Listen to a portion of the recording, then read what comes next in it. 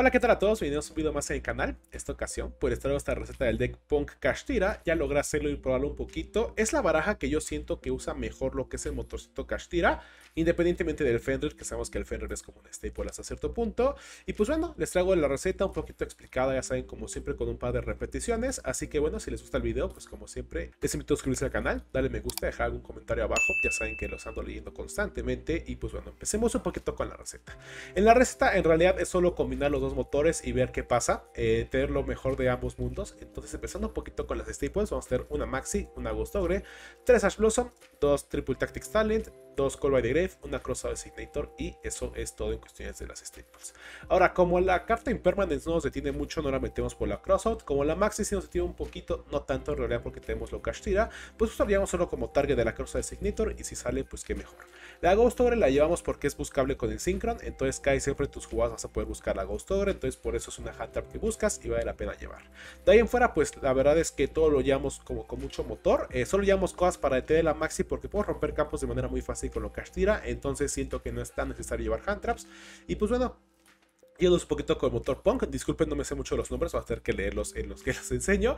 Tenemos un Ukiyoe, Dios mío, un Gagaku, un Yoruri, la Siamin que, que conozco, la Note, la eh, Foxytune y la eh, Ogre Dancer, son los únicos nombres que conozco. De ahí en fuera llevamos un campito de los Punks, llevamos dos de las trampas, una es Infinity Imperonence y otra destruye una carta del oponente, colocada si no tenemos Punk o una boca arriba si tenemos un Punk.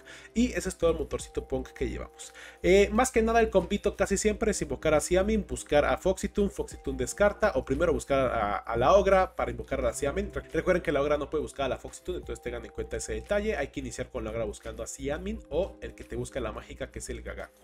Eh, hacemos eso, invocamos especialmente a que hace fusión, fusionamos para invocar especialmente desde el deck eh, otro nombre eh, Punk que queramos usar para buscar y la Diernot y de ahí hacemos Synchron al Chaotic Dragon Ruler o lo que es su Synchron que es el Punk Jam Impulso Dragon.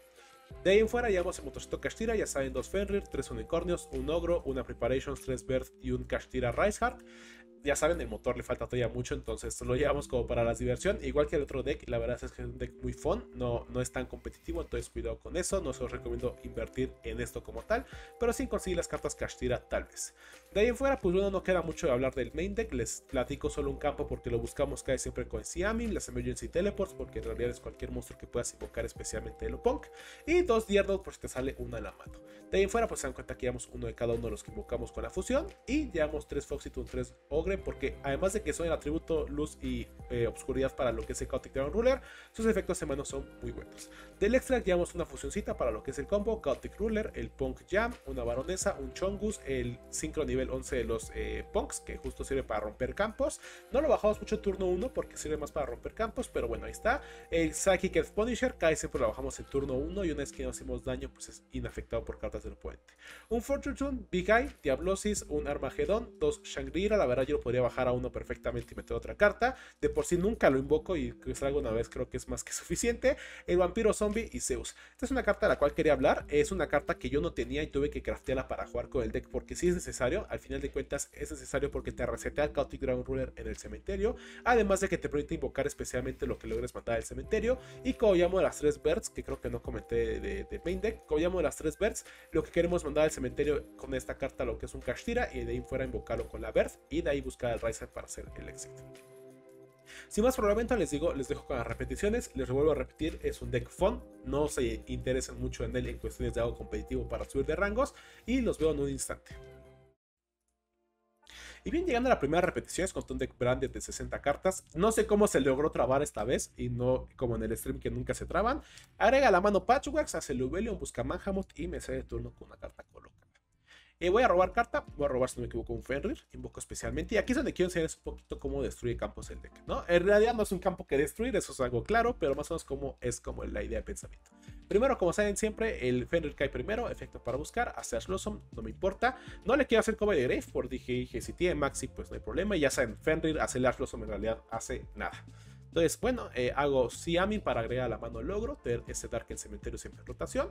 Busco otra Siamin para adelgazar un poquito el deck. Efecto de la Foxitune, descarto a la Siamin, invoco especialmente al que fusiona. Efecto para fusionar, invoco especialmente esta fusioncita. Efecto, voy a invocar dos desde el deck. Invoco el que agrega mágica e invoco eh, uno que agrega trampas. Esto es con la intención de que como ya tengo la, la Note en la mano, el campo puede desterrar el cementerio para invocar especialmente a la Deer Note. Activo campo, después activo efecto para buscar trampa, efecto del campo, robo carta, ahí robo una cartón. Efecto, remuevo para invocar especialmente a la Deer Note, hago Chaotic Dragon Ruler. Aquí pude haber hecho al, Jam Session, la verdad es que Chaotic Dragon Ruler no era la mejor elección, porque justo como tenía un Bestial en la mano, era esperarse tal vez hasta más Bestials, entonces le estaba dando como que algún tipo de peligro o algún tipo de jugada suspicias cuando no tuvo que haber tenido. Chaotic Dragon Ruler, eh, para invocar a Siamin, más Manhamut. No sé muy bien por qué activo ahí las cartas, la verdad es que estoy en un elo raro, estoy apenas como Master 4, entonces hay veces que salen personas random. Hace Manhamut para remover a la Foxitune, invoco a la Siamin, excavo 5, sale un Lights que puedo mandar al cementerio porque justo prefiero que esté ahí en el cementerio para Chaotic Dragon Ruler. Pero para remover el Manhamut, aquí hago al Punk para remover eh, cartas a su mano. Justo como sabía que eran las cadenas, prefería que se fueran a la mano.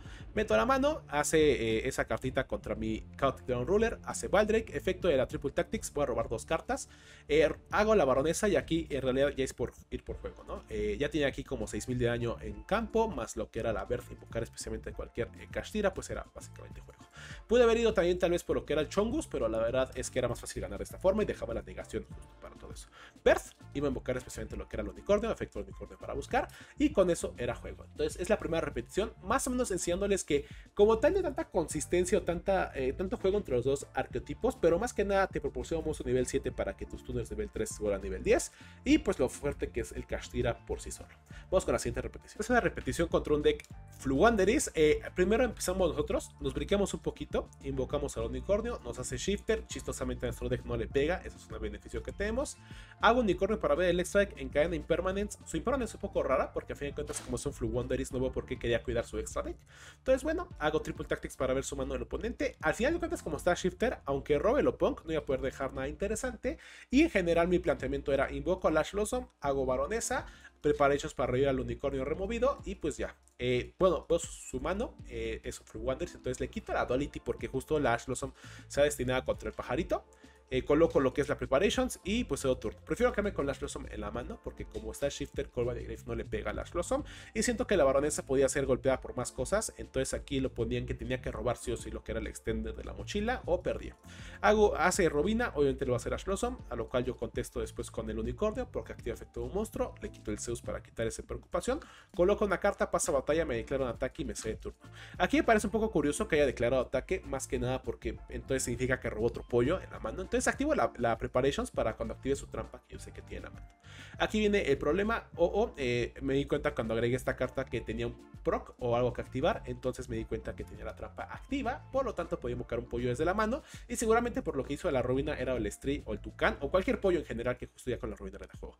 Paso a batalla, declaro ataque con unicornio, remuevo la Elder Entity, paso a main 2, intento hacer turno, él hace la trampa justo porque ya sentía con mucha presión. Aquí es donde dije, no pasa nada lo que vaya a hacer, tengo la Triple Tactics para robar cartas y tengo la Bird, entonces haz lo que tú quieras. Hace el Average Combo Pollo, ya saben. Eh, de hecho, se empieza a hacer mucha mano porque va a buscar eh, la continua, la trampa continua. Va a reciclar su trampa normal y va a quedar con pollos en la mano. Entonces, bueno, eh, hace todo eso. ¿Cómo no sé para qué explico esto? Es un como Flu es de un deck muerto, que ya no sirve mucho. Tucan, agrega la trampa, etcétera, etcétera. No pasa nada. Hago Triple Tactics Talent, robo dos cartas, robo Siam en campo, que mejor robo no puede haber pedido. Activo campo, Siam en busca, busca Foxitune, efecto del campo, robo carta. Foxitune, descarto una verde para que no sea redundante, efecto para fusionar. Invoco especialmente. Aquí no voy a activar efecto del campo porque no quiero que dé la casualidad de que robe hacia uno de los bricks punk, bricks entre comillas, que voy a invocar con esta carta, entonces mejor me espero un poquito. Efecto, invoco lo que es la Deer Note, el que busca la trampa. Ahora sí voy a activar efecto del campo para robar. Robo una carta, hago un Synchron, voy por el Chaotic Dragon Ruler quiere hacer la, más, la mayor ventaja posible que pudiera hacer. Entonces, bueno, invoco a Siamin, me leo 5 cartas. Creo que no le pego a ninguna, si no me equivoco. No le pego a ninguna. Y por si no esperen pegarle mucho porque no juegas muchos lights y darks en el deck. Solo la Ogra y la Foxitone.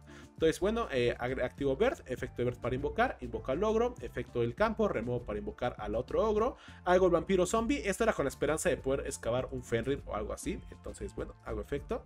Y además, eh, también que si le pegaba una rubina, por ejemplo, del tope del deck, le podía hacer coba de vampiro. Hago efecto, no milo nada de él, milo yo eh, una carta, eh, un tuner básicamente. Hago baronesa en defensa, efecto del Chaotic Dragon para revivirse. La idea es que baronesa rompiera al pingüino, hacía Chaotic Dragon Ruler, invocaba especialmente al Chaotic Dragon Ruler, después hacía el Psychic Cat Punisher, y después con eso yo tenía la negación de la baronesa y la trampa que había agregado a la mano para poder interrumpirlo. Y pues en general ese fue todo el duelo. Espero que les haya gustado las repeticiones. Eh, les digo, no soy experto con la baraja, más que nada se las traigo porque vi por ahí que llegó a servir un torneito que hubo de Master Entonces me pareció una idea muy interesante, justo sé quién solo Cash tira. Y pues bueno, sin más, comenten abajo qué opinan de la baraja, si tienen algún combo al cual irse siempre, porque les digo, no sé mucho de Punk. Y nos vemos hasta la siguiente. Adiós.